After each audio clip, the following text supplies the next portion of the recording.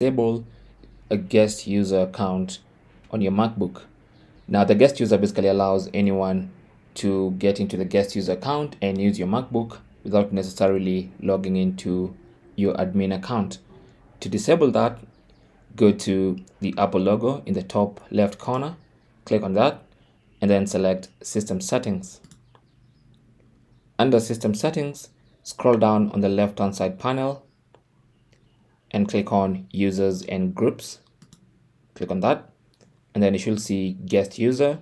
Click on the information icon, and then you should see Guest User and disable that.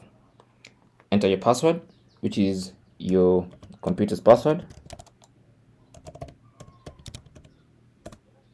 Hit unlock and then click on done and the guest user should now read off and you've successfully disabled the guest user on your MacBook. You can now see the guest user on the lock screen has disappeared. And that's basically how to turn off or disable guest user on your MacBook or even a Mac. Thanks for watching. Leave your comments and questions down below and good luck.